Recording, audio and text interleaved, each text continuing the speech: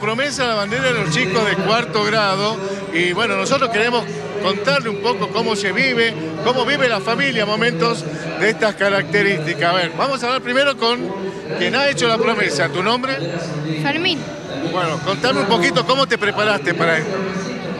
Eh, bien, estuve bien, me preparé en estos días bien, me cambié. ¿Te levantaste temprano? Sí, ¿Desayunaste? no, ¿De los nervios no? No. ¿Y tus compañeritos qué contaban? ¿Todos contentos? Sí, y algunos con sueño. ¿Con sueño? Sí. A ver, te pregunto, ¿qué, qué, qué sentís vos cuando hacías esta promesa? Se siente bien, se siente algo bien, al- algo muy lindo eh, haciendo esta promesa. Bien, a ver, vamos a hablar con la mamá orgullosa de, de esta, de este momento. Muy contenta, muy contenta de estar con él y acompañarlo en cada uno de, sus logros. Por ejemplo, hoy que fue la jura a la bandera, que salió hermoso. Nos preparamos tempranito, así que muy feliz, muy feliz de estar con él. ¿Quién estaba más nervioso, la mamá o? Sí, que salga hermoso, que esté contento, todo.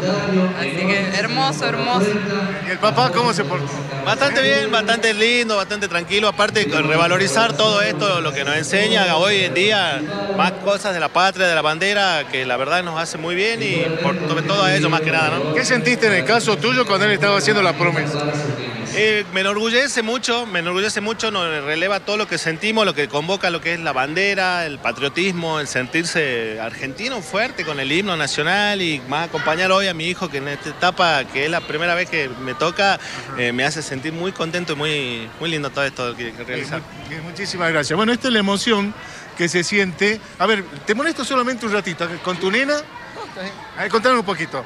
Eh, tú- vos como papá, ¿cómo sentiste todo esto?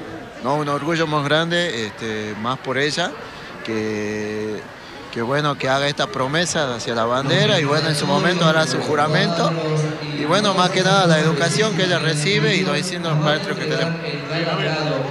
¿Cómo te llamas? Jimena Jamicayo.